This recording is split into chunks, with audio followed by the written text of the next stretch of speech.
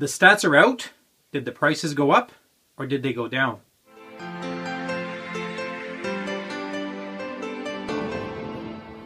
Hi, good morning. This is Jean Richer here in Ottawa. Today we're talking about the stats for February 2014.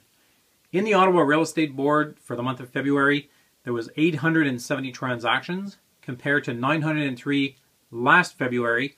That's a slight decrease of about 3.7% but it's about 33 less houses based on last year's numbers. Of those homes, there was 197 condos that were sold and 673 residential homes.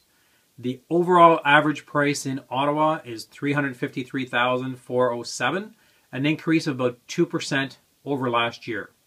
The average price of a condo is 257,752, a slight decrease of 2.3% over last February, and then the average residential home is 381,407, and that's an increase of 2.1% over last year.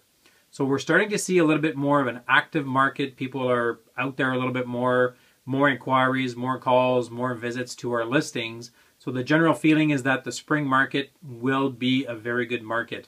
More people are getting pre-approved. We're seeing a lot more activity, more calls.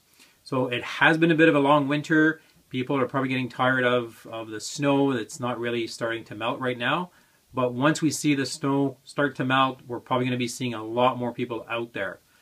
So if you have any questions, if you want to discuss statistics in your street, in your neighborhood, in your area, feel free to give me a quick call or you can always email me at jeanricher at jeanricher.com. Merci beaucoup et bonne journée.